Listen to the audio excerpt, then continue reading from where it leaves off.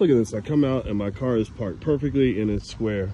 And this guy is driving a big monster truck and doesn't even park in his lane. So it's hard as hell for me to get to my car. Who does that? Who drives a monster truck and parks diagonal? Only an asshole.